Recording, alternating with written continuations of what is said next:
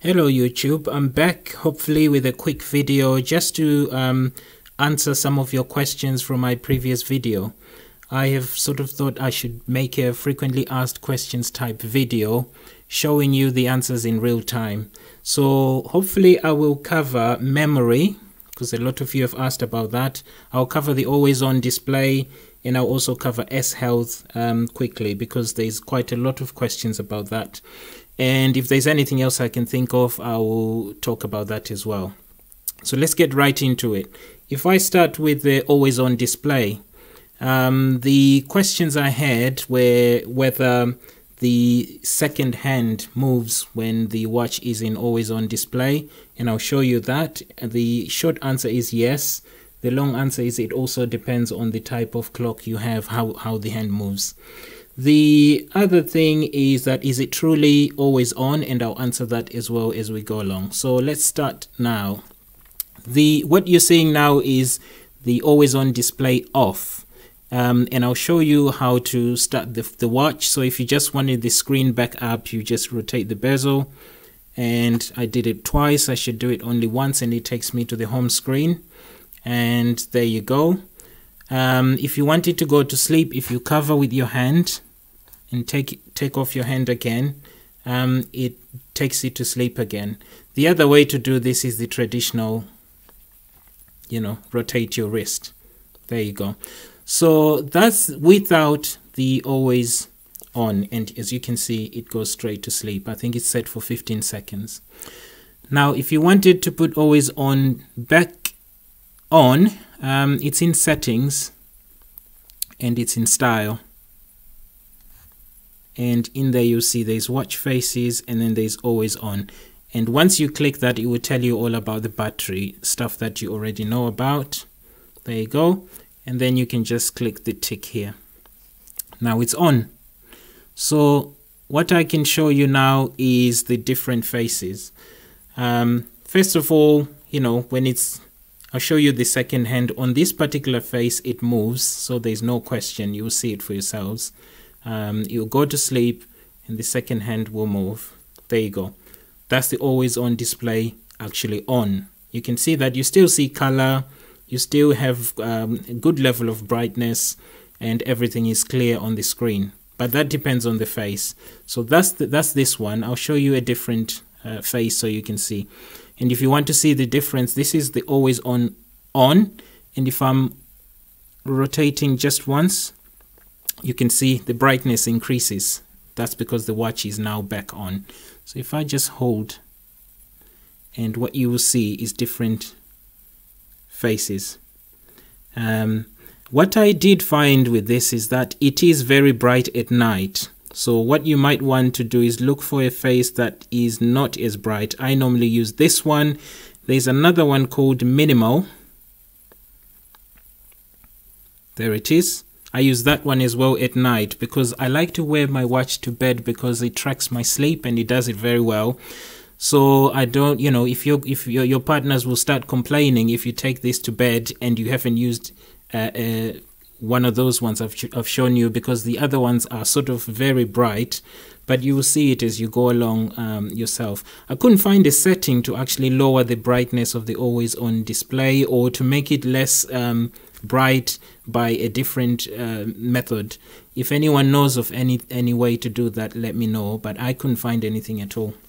So that's your your screens. I'll just take you through while I'm here all the screens so you can see. Um, look at the second hand on this one. You can see that it's moving. I'll show you a different one. So I'll show you this one. So you can see here the middle one, the, the red, um, what you typically expect to be um, a second hand actually isn't. And I'll show you what it does. Once this goes to sleep, you look for the second hand. And there you go. On number three, on the right hand side, there's something moving right at the edge. It's now on four. That's kind of your second hand. And I was sitting here trying to think, um, you know, I know it says here tachymeter, but you can press. So bring it to it's it's on always on. Press it once to bring it to life. And then if you press again you can see it starts counting with a red and a, and a X here to stop. So if I just press that it stops. The red I think is a pause. So it starts recording. Um, if I do that again you can see it's counting there and if I press the red it pauses it. I can restart it or I can stop completely. And there we go. So each face does different things. I'll show you a different one. Uh, if I go to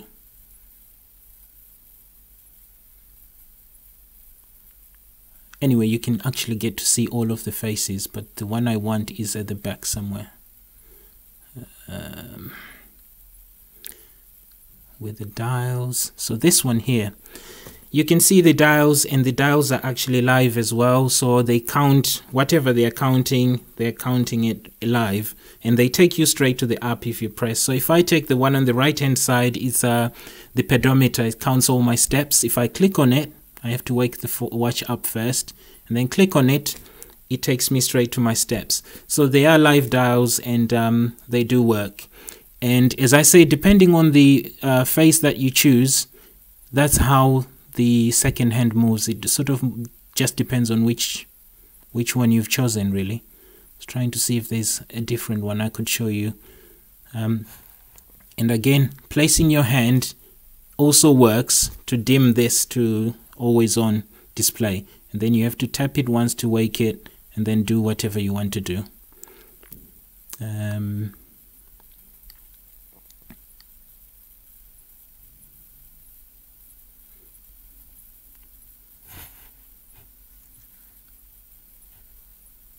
There you go. There is a watch face there. I just can't find it. That does again doesn't have a second hand as such. It's just a red dot that goes around the edges, same as the other one. Um, but yeah, that's the always on display. So as I said, people wanted to know about the second hand. You can see it for yourself. Others wanted to know about is it truly always on? So apparently some always on screens turn themselves off after half an hour or so. I tried this with uh, two faces, well over an hour each. I didn't see them uh, turning themselves off. They were truly always on. Um, so I, if I do keep testing and I find that's an issue, I'll let you know. But currently, they do look like they are truly always on displays. Um, the only time I saw it turning itself right off, even with the always on display on, was when I put it down. So I took it off my hand and put it down on a surface. And I think because it knows it can't track a heartbeat, it knows that you're not putting it on. And then it turns the, the screen off to save power. That's the only time I saw it doing it automatically. Sorry, I don't know who's calling. I gotta turn that off. Um, okay.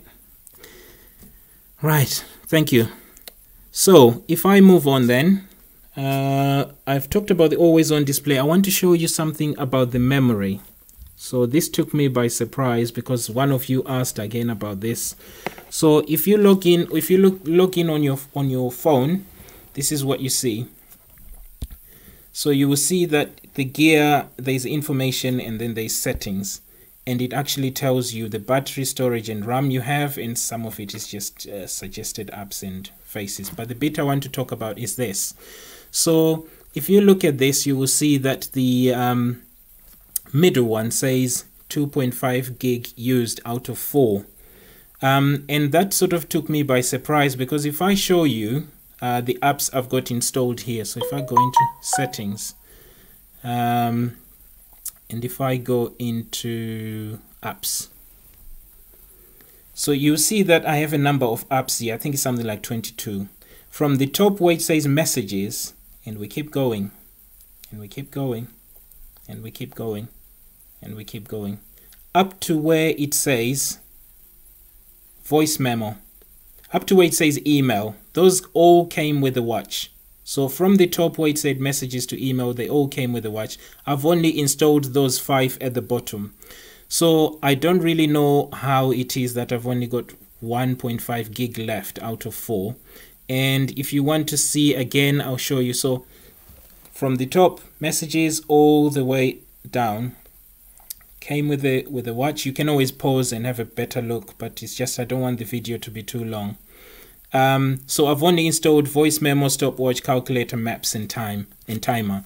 Um, if I go back here and I show you um, info. If I click on storage look at that. There's nothing significant that I've installed that would take up space. So you can see for yourselves that the this is what you get really in terms of space. You need to keep that in mind when you're installing things on your watch. I think it does compress images because i've been putting uh, uh, i think i've got three or four five images there roughly about 4 mb each and i can see that the total is less. So that some they, they it looks like it's been compressed Okay, so that's about storage. I just thought I'd bring this to your attention. If you're looking to buy or if you already bought one, you will know that you don't have masses and masses of space. You need to take that into account. Okay, that's that. So let's just look at what else you guys wanted to know. Um, we've done always on display and we've done um, memory. If I do S Health next, I was surprised by the number of people that have questions about this. It just means quite a lot of you are healthy people. You want to keep healthy. So I'm just going to remember you have to press twice if always on is on if always on display is on you have to wake the phone up the watch up first and then do your moves um, that's why I don't really like having it because I always forget and I, you know I, I start tapping furiously on the on the watch thinking that it's lagging but it's because you got to press twice. Um, so if I go back, I've just gone into um, settings. So this is your home button here. You click that, takes you into settings, S Health, there it is. Or what you can do is once it's already selected here, you can just tap the middle and there you go. So what people wanted to know about is the exercises, the workouts. So here we go. Um, now, I've got it under basic workout at the moment. I actually chose this because somebody said to me, Can you check if the heart rate uh, works or measures while you're doing a basic workout? And I can tell you that um, it doesn't. When I tried it for basic workout, it didn't, but for the others, it did. It's uh, not basic, sorry. For the other workout, it doesn't, but for anything else, it does. So, just to let you know here. So, the types that you get here we go. So I'm not going to read through them, but I'll show you so that you can see for yourself and you know what you're getting. A number of you wanted me to actually go through this, so I'll do that. Just to take you through the list. And it doesn't stop there. Star jumps.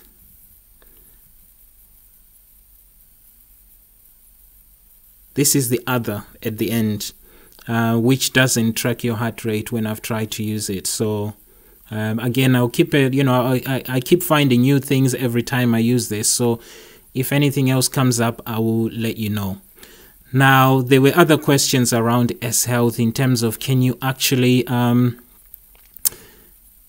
what was it? Let me just go into running and I'll show you I mean. I think somebody asked a question about intervals. Can you set intervals um, in terms of activity? If you look into running as it is for now, you can actually set a target. So, you know, there you go. And it would take, you know, you can set what you like. But what I wanted to talk about really was the um, auto pause. I'll come back to that. And guide at intervals.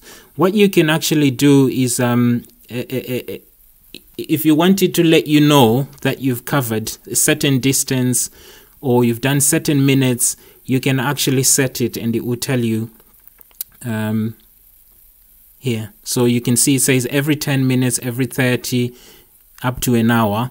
But not only that, it does it in miles as well. So you can set that as well.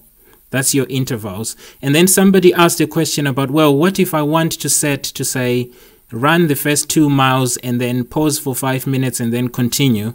It doesn't have that level, but it does it in a different way. And how it does it is this thing here, auto pause. So you just have to turn it on. It's off there and you just turn it on. What auto pause does is it recognizes when you stop doing an activity and when you resume it knows as well so it starts counting again so there is a workaround that you can use which is this the auto pause but it doesn't go into the specific detail of you can actually set it run two miles and then stop and then you know it does it automatically. So for those that wanted to know about intervals and auto pause here we go. That's that's what i could find in here. Um, and i did a bit of running as well. Oh, not running actually. I was walking today. Um, and i wanted to see if i can show you that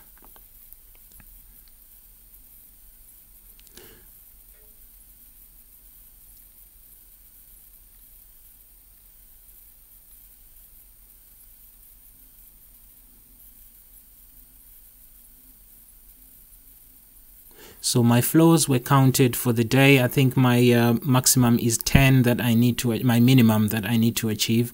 And I've set this for 10,000. So I still need to do a few more steps.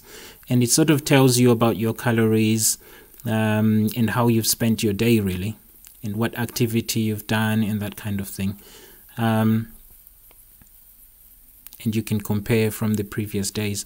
I prefer, on to be fair, when I look at the history, like this, I prefer to look at it on the on the phone because the phone gives you more detail and you can see trends and you can look at the past uh, however long and you got graphs and things like that. So for this, it's quite good at just tracking the stuff and putting it back to the phone. But when I go to the phone, that's when I can see a lot of my uh, activity. Like when I looked at my walk, I actually could tell there was a map there and it was sort of showing where I had walked. So that was good to see but that's um, S Health. I know that people wanted an in in depth uh, review of it, but I haven't used all the features. And what I thought I would do as the best way is just to show you the menu so that you can also look at it yourself and think, okay, this is what it does, this is what it can track. Um, and the settings, I'll take you through that as well just to show you so you can. This again, you can set from your phone, but it's also here just in case. Health nudges you do get things like if you've been still for an hour, it tells you to get up and do some exercises. Uh, it has auto detection of any acti- not any i think there's a few it, they're listed activity. Once you start doing something for about 10 minutes it will log it as a as an activity and it will know what that activity is.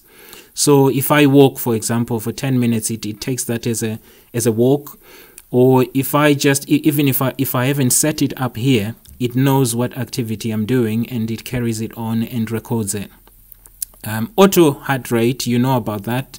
I'm not doing any water and um, caffeine stuff. Um, but there you go. I thought if I took you through the menu, then you'd be able to see.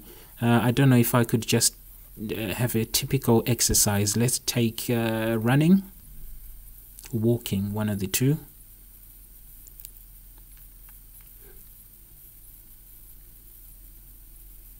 What have I done? Right so if I do um, oh sorry. So if I do what did I do? I don't know why I keep triggering this. I'm gonna keep quiet for a minute. The one I used today was this. Um, some people call it elliptical trainer but we call it a cross trainer over here so there you go. So what I did is just basically um, set it up and told it I was doing this and just clicked start. But you can set your target. You can also have intervals so I asked it to notify me when I've done five minutes and I did I did actually I did six minutes sorry. And it did tell me at five minutes that I was doing it. And you can always see your log. Um, other I was just testing this to see if it recorded the heart rate but it didn't. And this is kind of the the one that I did, and it tells you, and you can have a detailed look into things, duration, heart rate, and all that. But if I went into other, and you can share it as well, if I went into other, um,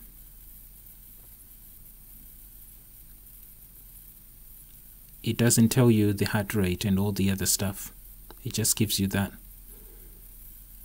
So yeah, it's um it's been updated this S Health. I have used it, you know, in previous versions, and I can see that it has much much more than it ever did. And um, it's more helpful and actually encourages me to do a bit of exercise. So that's what I was going to show you on this one. Um, and I think I took you through the menu of what's available so you know what else is there. Um, some people were asking about the music player. Let's see if we can go through that. Um, so I think if I go here, there's a shortcut here. So here. So, you know, my my phone is there, so we'll see what this decides to do. Um, so what it's doing is playing the last thing I played was this song on um, let me reduce the volume otherwise you won't hear I played this song on SoundCloud and that's what it's defaulted to so I'm going to stop it and then I'll pause it and then what I'll do is I'll change uh, SoundCloud and I'll put on um, Spotify I never actually use Spotify. It's only because one of you asked whether it worked with Spotify, and I said I'll give it a go and I'll try it. So if you see what happened before, the song that you can see there is now the one from Spotify. So if I just click that, if I pause, if I click play, it goes back to SoundCloud. This is what I found when I'm doing this, that it doesn't default to what you're playing. It defaults to to SoundCloud for me. I don't know whether there's a way to change that. It's the first thing that I played when I got the uh, watch. I played songs from SoundCloud so I wonder whether there's something you can do in terms of changing default. It doesn't mean that Spotify won't work. So if I close all this and then if I play that if I go back to the music um, if I pause it pauses. If I play it goes back to Drake so it knows how to you know move between apps. Um, it knows how to once you play this on the phone it knows to keep up and to change the song. But if I close Spotify here now on my on my phone so I'm going to I'm going to do it manually on the phone and clear it and close it down. And if I went back to the watch and if I click play it probably will go to SoundCloud I didn't close it did I? I didn't close the app sorry.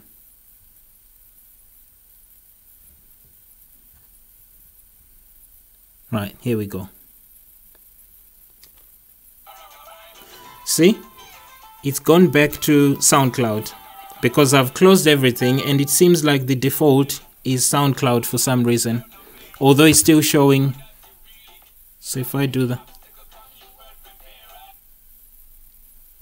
and then play again.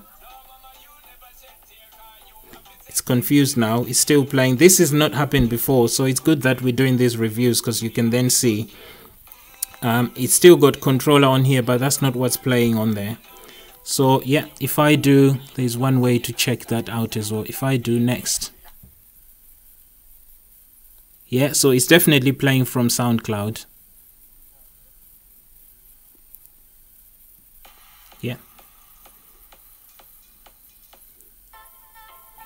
yeah? There we go. So what you can see here is that it does play it, it, you know I've tried it with different players and it does play with all different players but what it doesn't always know is the default. I don't know how to set that. I don't know how you decide which player is is best. It always defaults to SoundCloud for me. If I stop everything else and I click play again it defaults to SoundCloud but when I set it up that's the only player I had on there that I used frequently if you see what I mean so maybe that's how it, it's got that on its uh, system I'll, I'll still try and find if there's a way to change that round. Um, just to talk about other things, I think somebody asked about WhatsApp, whether you can reply with a voice. I won't show you now because my video is getting too long. But yes, you can reply to WhatsApp with a voice message. So you get those three options voice, uh, text, emoji. You can also write in the message. But yes, you can talk to um, High Gear and it should come up. And then you can answer your question. All right. I hope you have a good day. I think that's all I wanted to talk about today. If there are any more questions, let me know. Um, but yeah, that's it really I wanted to talk about today. Thank you.